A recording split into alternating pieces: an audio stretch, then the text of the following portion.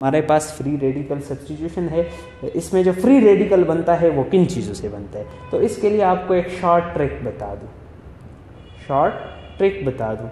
ये ट्रिक जो है, हमारे पास ये है कि हमारे पास फ्री रेडिकल की जो फॉर्मेशन होती है, वो इन चीज़ों की वजह से हो सकती है। आप वर्ड हेल्पर याद कर लो।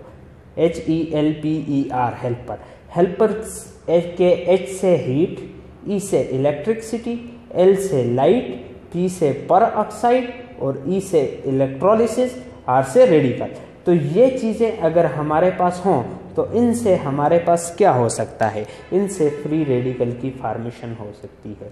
फ्री रेडिकल इन चीज़ों के ज़रिए बन सकता है। Heat electricity light peroxide electrolysis से रेडिकल बन सकता है। तो वर्ड हेल्पर आपको याद रखना है कि हेल्पर से